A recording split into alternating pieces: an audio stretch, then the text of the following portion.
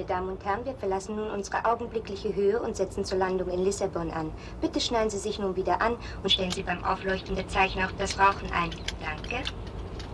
Ladies and gentlemen, now in a few minutes we shall be landing in Lisbon.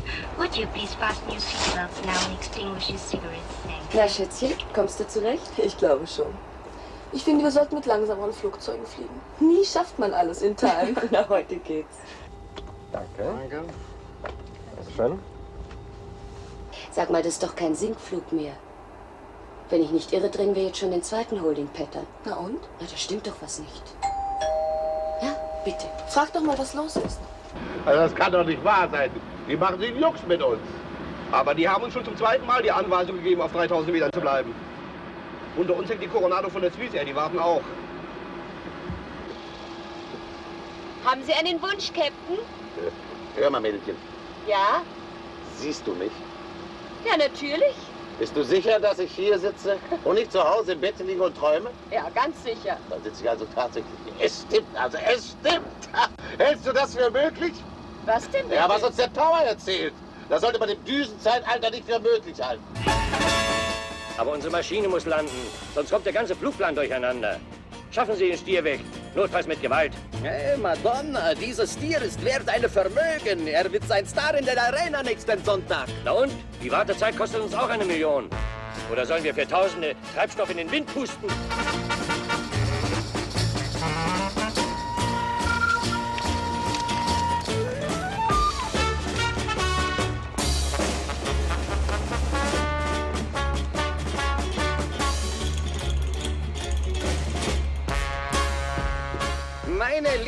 Darf nichts passieren. Suchen Sie andere Flughafen. So weit kommt es noch. Holen Sie die Polizei und lassen den Stier erschießen. Erschießen? Den Stolz von Rivatoglio? Aber die Maschine muss landen.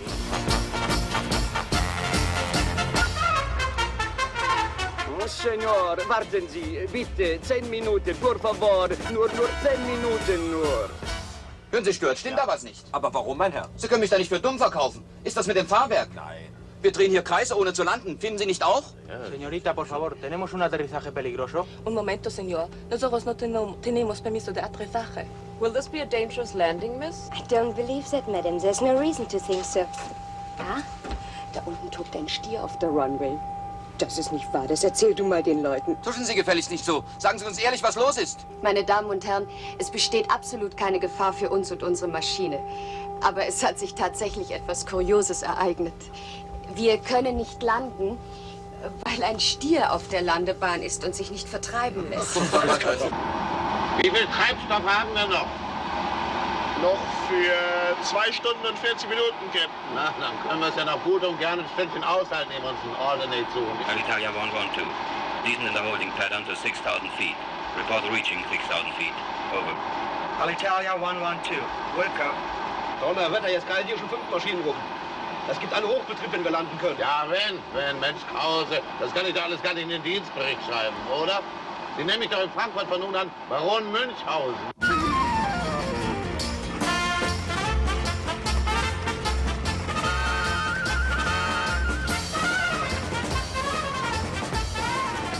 Er ist unversehrt, mein Liebling. Haben Sie gut gemacht, bravo. Sie bekommen Freibillett. Er wird nicht von der Polizei erschossen. Mein Stolz, er wird am Sonntag die Zuschauer in der Arena begeistern. Da, Senor, Sie kommen, Ihre Flugzeuge, einer nach dem anderen. Ah, nun brauchen Sie nicht mehr aufzuregen wegen den zehn Minuten. Zehn Minuten? 20, Senor Ramirez. 20 Minuten? Pazienza. Was sind 20 Minuten, wenn der Tag ist lang?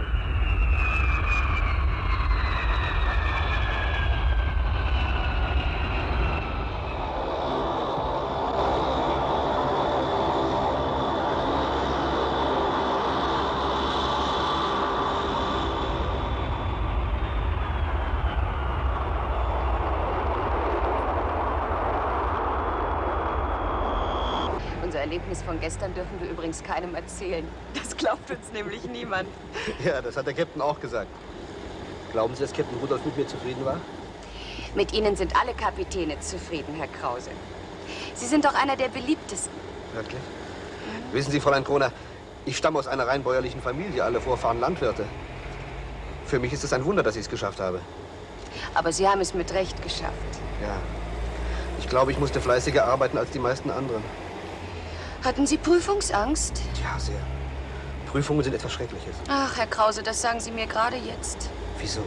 Ich habe doch nächste Woche meine Prüfung. Was denn? Sie sollen Chef der Kabine werden? Ja. Na, da gratuliere ich aber herzlich. Gottes Willen, nur nicht gratulieren. Ich habe es ja noch gar nicht geschafft. Ach, und dann kommt der Checkflug. Da sieht einem der Prüfer bei jedem Handgriff auf die Finger. Und davor haben Sie Angst? Ja, ich büffle schon Tag und Nacht. Vor allem Französisch.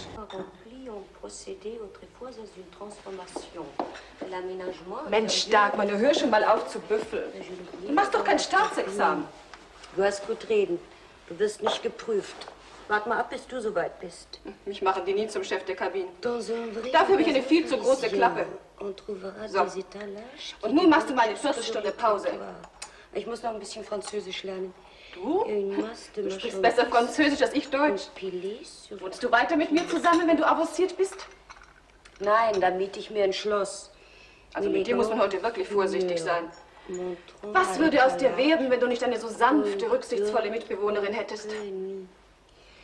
Dann hätte ich meine Ruhe. Na nu, erwartest du Besuch? Einen Tag vor der Prüfung. Komisch. Fräulein Dagmar Kroner? Ja, da sind wir. Bitte. Moment, Fräulein, das ist noch nicht alles. Danke sehr. Sie sind doch Stewardess, nicht wahr? Ja. Warum? Oh, vielleicht kann man dann mal bei Ihnen landen. Ha, ha, ha, ha, ha, ha. Witze in dieser Art sind alle schon gemacht worden. Geben Sie sich nur keine Mühe. Ich dachte bloß, äh, wir können vielleicht mal zusammen plaudern. Und was sagt der Postminister dazu? Haben Sie keine Telegramme mehr auszutragen? Nein, ich habe Zeit. Aber ich nicht. Sie sehen doch, wir haben wichtige Post bekommen. Was gibt's denn? Telegramme für dich. Ach, interessiert mich jetzt nicht. Mach du bitte auf. Das hat dich zu interessieren. Alles Gute für morgen. Drücke beide Daumen, Mutter. Gib von ihr. Il est doux. Le cœur et les poumons se trouvent dans la poitrine. Toi, toi, toi und Hals- und Beinbruch, Cherry. Ach, Jerry, der Gute. Sieh mal an, gibt's denn auch noch? Ach, das war doch nie was Ernstes. Herzlichen. Glückwunsch zur neuen Position, ihr Dr. Becker und Familie. Hm. Du, da gratuliert aber ein bisschen früh. Ein Glückwunsch vor der Prüfung? Das hätte nicht kommen dürfen. Ilse, das ist ein ganz schlechtes Vorzeichen. Toi, toi, toi, Fräulein Kroner. Vielen Dank. Sie werden es schon schaffen, ich bin ganz sicher. Hoffentlich. Meine Damen, etwas möchte ich Ihnen unbedingt noch mit auf den Weg geben. Sie haben nachher keine Zeit, Ihr Make-up zu erfrischen bzw. zu erneuern. Tragen Sie Ihr Fond de Teint gründlichst auf, massieren Sie es gründlichst ein, dann brauchen Sie nur noch den Lippenstift eventuell nachzuziehen. Herein, bitte. Oh, Entschuldigung, bitte. Sie wollen zur Prüfung? Ja. Eine Tür weiter, bitte. Vielen Dank, auf Wiedersehen. Bitte schön, auf Wiedersehen.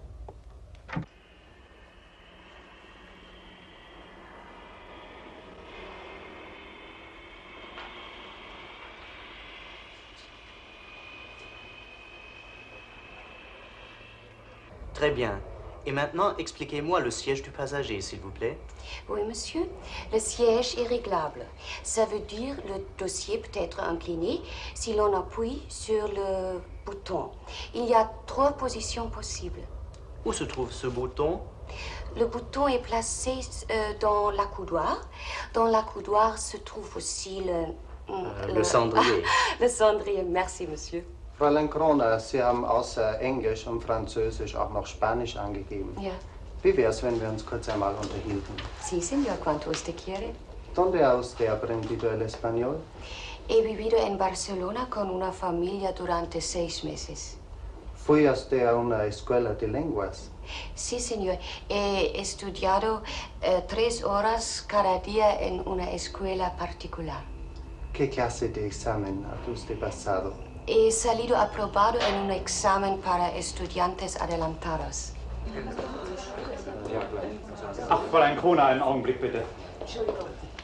Veronika? Äh, Fräulein Kroner, Ihr Checkflug ist übermorgen, Flug 37071. Nur Sie kennen die Flugnummer. Athen-Istanbul, Herr Ronnecker. Stimmt. Tja, also dann. Soll das heißen, dass ich die schriftliche und mündliche Prüfung bestanden habe? Das ist demnach wohl anzunehmen. Frankfurt Tower, this is Lufthansa 370 pre-flight check on 118.7. How do you read? Frankfurt Tower, reading you fine. Frankfurt Tower, Roger. Captain, Ja, bitte. Kabine fertig zum Start, Türen geschlossen, Papiere an Bord, Galley gesichert, 12 First, 67 Economy, alle Passagiere angeschnallt. Danke, Freund Kroner. Ach, äh, das ist Ihr Checkflug. Ja, Captain. Nun, alles Gute. Erbitten Sie Taxi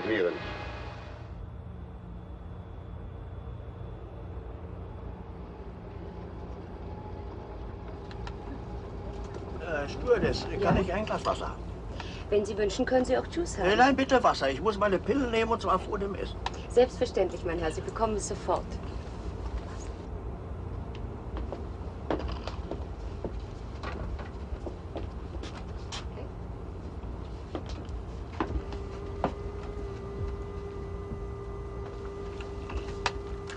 So, bitte. Danke sehr. Fräulein, können Sie mir einige technische Einzelheiten über die 727 sagen? Aber gern. Unsere Boeing 727 hat eine Spannweite von 32,92 Metern und eine Länge von 41,96 Metern.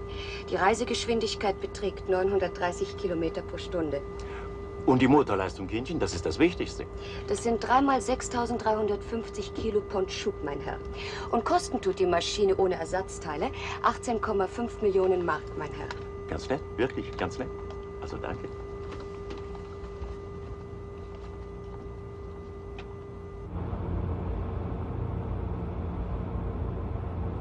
Meine Damen und Herren, wir werden in wenigen Minuten in Istanbul landen. Ich bitte Sie, sich wieder anzuschnallen und später das Nichtraucherzeichen zu beachten.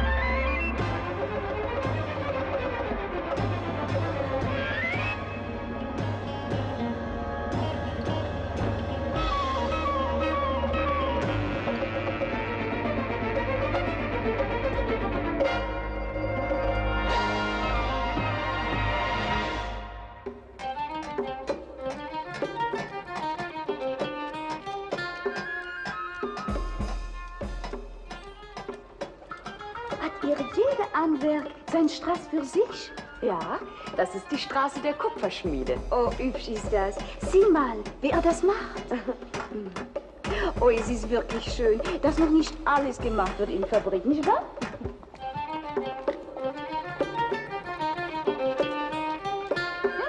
Hm, Das ist ja der Airport für fliegende Teppiche. Ich möchte mir am liebsten jedes Mal einen mitnehmen. Ja, aber wohin damit in eurer kleinen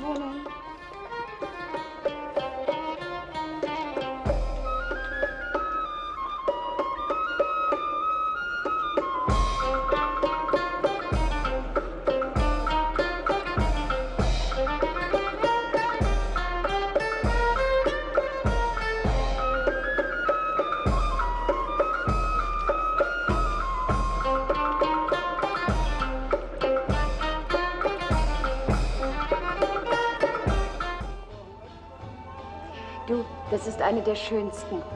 Die Sultan Ahmed Moschee oder auch Blaue Moschee genannt. Im Innenraum sind fast nur blaue Fayencen. Da müsstest du unbedingt rein. Ach, weißt du, müsste man wochenlang hier bleiben, um das alles zu sehen. Oh, das hat ja sechs Minaretten. Das ist aber sehr viel, nicht wahr? Stimmt, alle Moscheen in Istanbul haben nur vier. Aber weißt du, zuerst, wir wollen zur Hagia Sophia. Das ist doch die berühmteste von allen.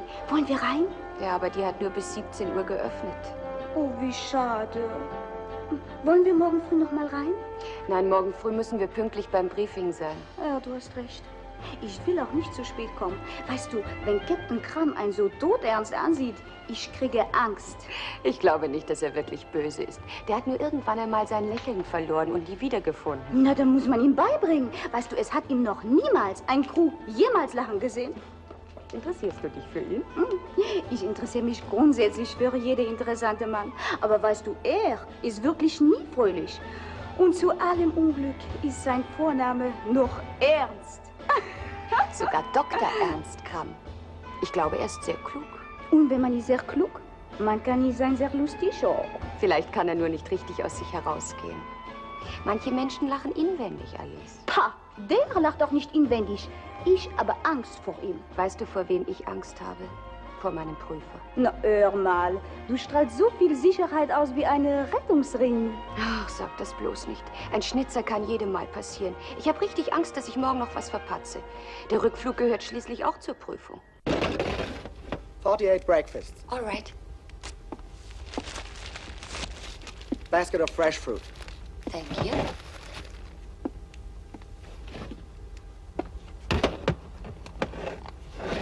SRT's cheese board. That's all. Thank you. Goodbye, miss.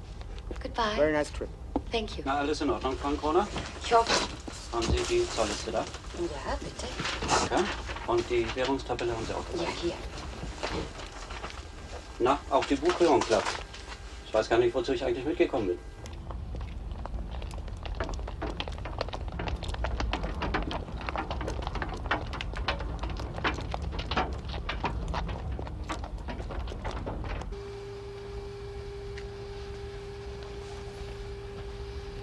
So, bitte sehr. Dagmar, du, wir haben dabei wirklich ein Problem.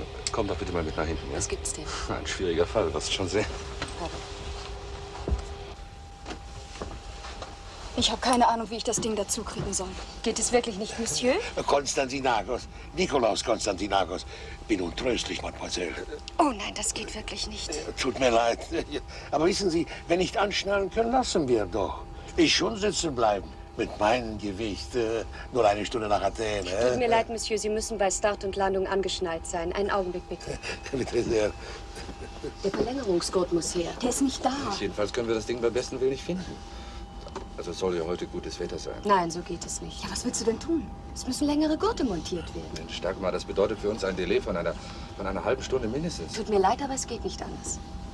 Einen Moment Geduld, Monsieur Konstantinakos. Ich sag nur dem Captain Bescheid, dass er einen Mechaniker anfordert. Bin untröstlich, Mademoiselle, dass ich so viel Schwierigkeit mache mit meinem Bauch. Nicht? Aber ich nicht kann abschneiden. Lufthansa Nil Soktan. Kaltmik Olmasi Lazimbi. So, ich glaube, das wär's. Passt wie angegossen. Na also, vielen Dank. Nicht so lang. Wiedersehen. So, Passt wie angegossen. Captain, jetzt sind alle angeschnallt. Und dann können wir ja wohl. Ja, ich weiß, 20 Minuten Delay, aber ich dachte, wenn er sich im Emergency-Fall das Genick bricht, dann... Glauben Sie, dass ich was falsch gemacht habe? Das glaube ich nicht. Und sollten Sie wegen dieser Geschichte Schwierigkeiten bekommen, dann berufen Sie sich auf mich. Danke, Captain. Erbitten Sie rollfrei. Also, wie mal so sagen.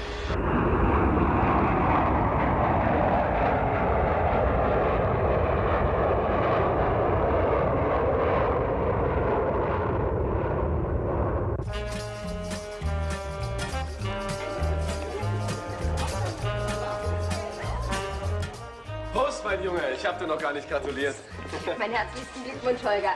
Naja, ich hab's gerade so geschafft, aber Dagmar hat mit Piloten bestanden. Das ist so eine Art Summa cum laude.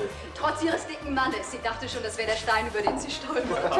Ich weiß gar nicht, was ihr wollt. Der Mann hat bezahlt, also darf er mitfliegen. Da hat sie doch nur nach Vorschrift gehandelt. Und Vorschrift ist immer gut. Also ich werde nie Chef der Kabine. Nein? Wenn ich weiß, dass ein Prüfer an Bord ist, juckt's mich gerade, zum Mikro zu gehen und zu sagen, meine Herrschaften, ist unter Ihnen zufällig ein Arzt oder ein Pilot? Das ist nicht gerecht. Unser Prüfer war ein sehr netter, verständiger Herr. Außerdem muss ja nicht immer was passieren wie mit dem Dicken. Natürlich nicht. Allerdings, Dagmar erlebt ja dauernd Dinge in der Preislage. Neulich soll sie auch mit dabei gewesen sein, als Captain Rudolph die Sache mit dem wilden Stier auf der Runway hat. Stier ist gar nichts. Ich habe einmal in Orly eine Stunde lang nicht starten können. Wegen Tieren. Wegen Tieren? Was für Tiere? Hm, Eine Bienenschwarm. Er hing an Tragfläche. nein, nein, nein, nein, da gibt's gar nicht zu lachen. Da traut sich nämlich kein Mensch vorbei. Wie seid ihr sie losgeworden? Hm, ganz einfach. Wir haben eine Kommandie Imker kommen lassen.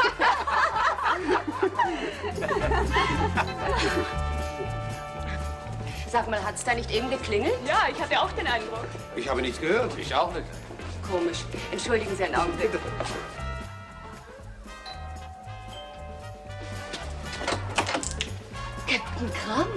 Entschuldigen Sie, Fräulein Kroner. Ich wollte denn doch zu Ihrer Beförderung gratulieren. Schließlich haben Sie Ihren Checkflug doch bei mir gemacht. Ach, das ist aber sehr nett von Ihnen. Vielen Dank. Kommen Sie doch herein. Ich weiß nicht, ich, ich wollte nur ganz kurz. Ich störe sicher. Aber nein, wir feiern bloß ein wenig. Wenn Sie Zeit haben, bleiben Sie doch ein bisschen und trinken ein Glas mit uns. Ich bleibe gern. Sehr gern.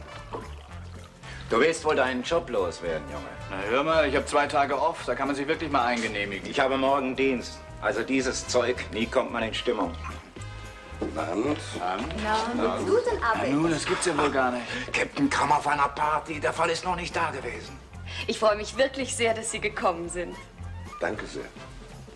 Komm, ich versuche mal noch eine Vase zu finden. Ja, das wäre lieb von dir. Perhaps he has fallen in love. Na und wenn schon, ein bisschen verliebt schadet gar nichts. Auch wenn es nicht in Erfüllung geht. Liebe ist immer très bien. Und das erst macht ein richtiger Mensch aus einem Mensch. Tu comprends? Auf jeden Fall tut's ihm gut. Bei Streckenaufenthalten kommt er nie auf den Bummel. Da sitzt er in seinem Hotelzimmer und denkt über Clear Air Turbulence nach. Kurzum, manche Leute sind gar nicht so, wie man immer denkt. Sie brauchen bloß mal aus sich herausgehen. Mhm. Aber wie kriegt man sie aus sich heraus? Wie man sie kriegt? So.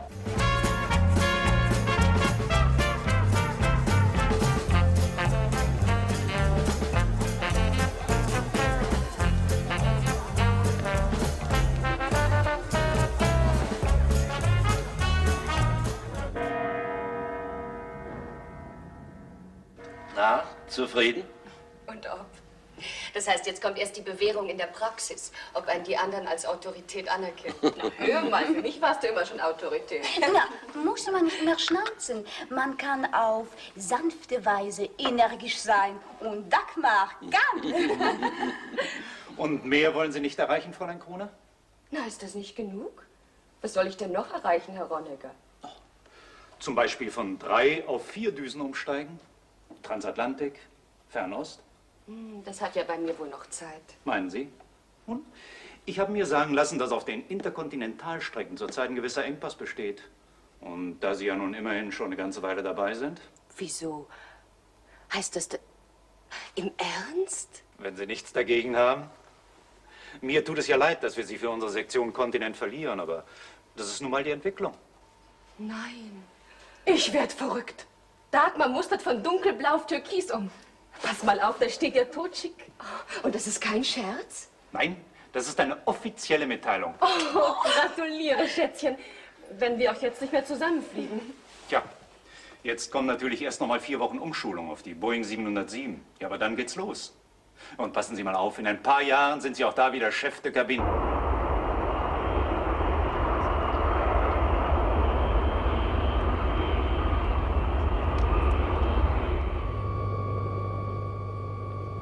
Hallo Dagmar. Auf vier Düsen umgestiegen? Ja. Na, du kriegst jetzt die Welt zu sehen. Und unser eins krebst in Europa rum. Na und, ist das vielleicht nicht? Europa kenne ich wie meine Handtasche. Aber du, grüß mir Übersee.